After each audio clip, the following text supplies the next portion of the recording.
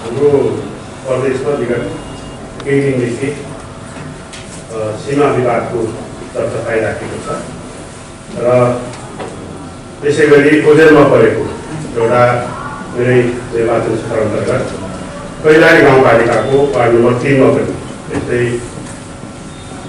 रोके बजारमा त खाल्डो मात्रै खोलेको छ तर शिवरत्नपुर गाउँको त्यहाँ दुई किलोमिटर एउटा ड्यामै लगाइएको छ। नेपालको स्थानीय सरकारसँग स्थानीय प्रशासनसँग र त्यसपछि गएर यहाँको कुनैसँग सम्बन्धित नगरिकन त्यो काम भइराखेको छ। अस्ति भर्खरै करिब डेढ दुई हप्ताको चरणमा हो अस्ति भर्खर म गएर आफै पनि हेरेँ। तर कुनै मिडियामा पनि आइराखेको पनि छैन।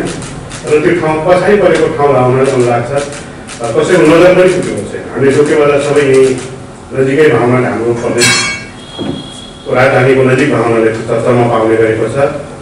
कैलालीको कैलाली गाउँपालिका तिन शिवरत्नपुरको एउटा मन्दिरदेखि पूर्वतिर इन्डियाले कुनै नेपालसँग के पनि कुराकानी नगरिकनै त्यो बाँध लगाएको छ। जसले गर्दा अ, छ्यासी घर त्यहाँ डुबाल्नु पर्ने सम्भावना देखिन्छ। विगतको बारीको अवस्था हेर्दा त्यसको सँगसँगै अब एउटा अर्को समस्या छ त्यहाँ। विगत केही वर्षदेखि रहेछ त्यो समस्या। र अस्ति म त्यो गाउँमा जाँदाखेरि कैलाली गाउँपालिकाको वार्ड नम्बर पाँच बिसनपुर भन्ने गाउँका जनताले वर्षमा पन्ध्र दिन त्यहाँको वन विभाग जो रुरल नेसनल पार्कमा रहेको वन विभागका कर्मचारीहरूले वर्षको पन्ध्र दिन करिब सबै गाउँका जो प्रत्येक घरबाट एकजना मान्छे लग्ने र त्यहाँ नि शुल्कदेखि तपाईँको पाइपट्टि काम गराउने गर्दोरहेछ अस्ति उहाँहरूले मलाई गुनासो पनि गर्नुभयो र मैले भने ठिक छ यो कुरामा सरकारको उहाँ र हाम्रो सूत्र उठाउँछौँ म।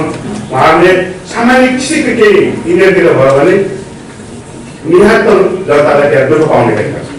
समाजले गरिहाल्छ पारिपट्टि एसएपीको क्याम्पस छ नदीमा मात्रै सिकेको छ।